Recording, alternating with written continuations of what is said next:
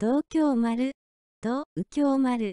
と右京丸は、日本海軍兵部省所管の運輸船。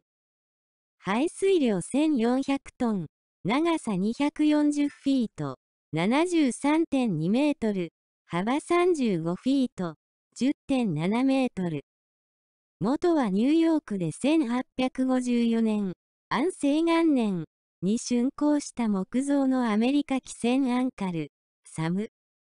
明治3年、1870年7月12日に購入、兵部省所管となり、東京丸と命名された。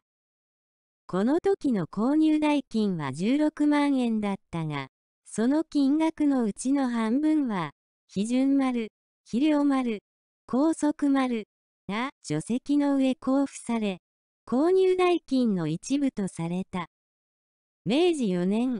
1871年11月14日ご総選、準4等選と定められ、翌明治5年、1872年1月24日に運輸船と定められた。